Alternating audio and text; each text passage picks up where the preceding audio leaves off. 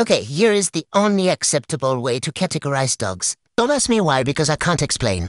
It just makes sense. So if you disagree, don't fight me. And I will be introducing you to those categories from smallest to largest. Right, that's a pupper. That is also a pupper. However, if said pupper got a lot of hair, it's a floof. And that's also a floof. If the floof is a bit bigger, it's a floofster. And that is another great example of floofster. No, that's a baba. That is also a baba.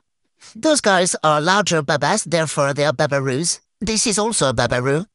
Now this is a chunky bachunk. Those two are also chunky bachunks. Finally, if a baba or a babaroo is a bit of a weight, it's a bum bum. Thank you for coming to my TED Talk.